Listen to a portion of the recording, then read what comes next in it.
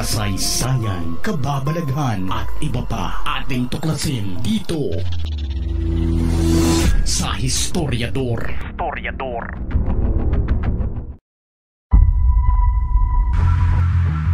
Hindi na miyembro ang Pilipinas ng ICC o International Criminal Court pero dahil sa Rome Statute ay nabigyan pa rin sila ng karapatan na imbestigahan ang mga taong nasa listahan nila na umabuso umano sa karapatang pantao ng mga mamamayan.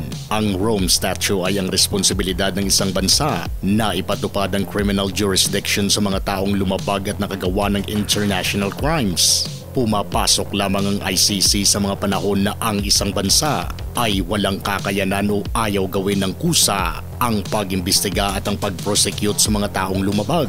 Ito ang dahilan kung bakit nasa bakura na naman ng Pilipinas sa mga tauhan ng ICC sa kabila ng pagpupumilit ni dating Presidente Rodrigo Roa Duterte at ng kanyang dating PNP head na ngayon ay senador na si Ronald Bato de la Rosa na hindi sila lumabag ng kahit na anong batas ay ginigiit pa rin ng ICC ang investigasyon tungkol sa mga nangyari noong panahon ng laban kontra sa pinagbabawal na bisyo na isinumite na kasi ang reklamo bago pa umalis ang bansa sa pagiging membro ng ICC. Ibinasura na kasi ng ICC ang request ng gobyerno ng Pilipinas na ipatigil na muna ang ginagawa nilang pag-iimbestiga imbes na gawin ang hinihiling ng ating administrasyon ay binigyan nila ng approval si Prosecutor Karim Khan na halongkatin ang nangyari noong kapanahunan ng laban kontra sa ipinagbabawal na bisyo.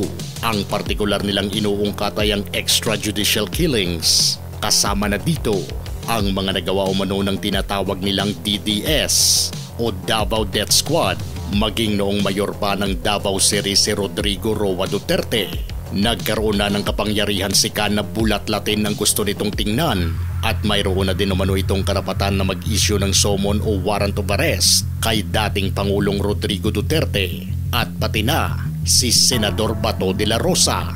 Ito ngayon ang kinukontra ng senador at nagsabi pa itong sisiklab umano ang kaguluhan sakaling ipilit ng ICC Naarestuhin silang dalawa ni Duterte. Ipinagpipilitan ng ICC na mayroon talaga silang kinalaman sa mga natumbang.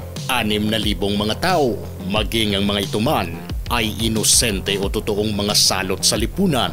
Ayon kay Senador Bato, hindi siya naniniwalang pupunta umano talaga ng Pilipinas ang arresting officer ng ICC.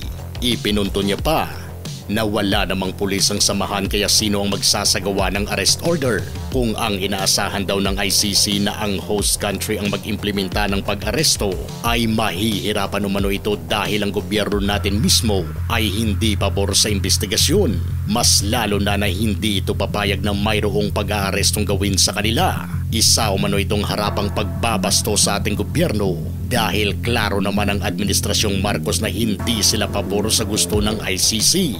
Sabi pa ni Bato, malaking gulo kung mag-i-insist sila kasi dahil hindi naman papayag ang ating kapulisan at kasundaluhan na walang hiyain yung ating gobyerno. Kung iniisip din umano ng ICC na sa Interpol maghanap ng arresting officers ay hindi rin magiging solusyon ito dahil sa host country pa rin manggagaling ang mga kukuning kapulisan. Pero sa kabila ng kanyang pagkakasiguro na hindi sila maaaresto ay iiwasan niya pa rin lumabas sa ating bansa dahil baka doon pa siya matiklo. Protektado sila ni Duterte sa Pilipinas pero magiging ibang usapan na kung sakaling nasa ibang bansa sila. Ang sabi naman ng kanyang kinuhang abogado na si Senador Francis Tolentino, hindi rin magiging madali ang gustong mangyari ng ICC dahil hati pa umano ang desisyon ng mga miyembro nito.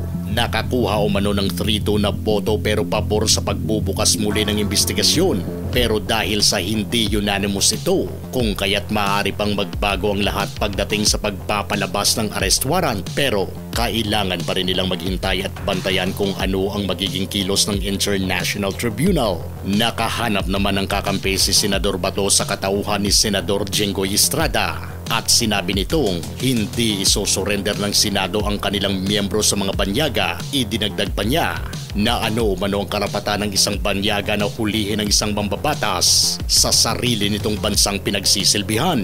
Pero sinabi din ni Estrada na ibang usapan na ang mangyayari sa oras na makahanap ang ICC ng lokal na korte na magsasagawa ng pag-aresto. Basta talinsunod ito sa batas ay susunod din umano ang ating mga mambabatas. Sa mga nangyayaring ito, hati ang opinyon ng maraming Pilipino. Kahit totoo naman na napababa ng oplantukhang ang bilang ng mga drug-related crimes at nabawasan din talaga ang bilang ng mga nagtutulak noon ay hindi rin may kakailan na marami talagang nasawi sa programang yun. Ayon sa gobyerno noong panahong yun, ay nanlaban kaya minalas at nasawi pero marami naman ang nagsasabi na sinalvage talaga ang iba. Ang sabi ng ating administrasyon ngayon ay natapos na ang pag-imbestiga noon sa mga kasong ito at napatunayan na ng sarili nating imbestigasyon na walang nilabag si dating Presidente Duterte. Natural na mayroong sasalungat dahil may mga pamilyang nasaktan na sumisigaw ng katarungan at may mga oposisyon na ginagamit ang emosyon ng mga sumisigaw na yun. Ang tanong ngayon, kung papayag ba ang ating bansa na gawin ng ICC ang kanilang investigasyon o ipagpipilitan na tapos na ang lahat. Ikaw, payag ka bang arestuhin si Duterte at si Bato ng mga taga-ICC? Gusto nyo ng mga ganitong klaseng videos, panoorin, pindutin ang notification bell, mag-subscribe at i-share sa mga kaibigan. Maraming salamat po hanggang sa susunod dito sa Historiador. Historiador.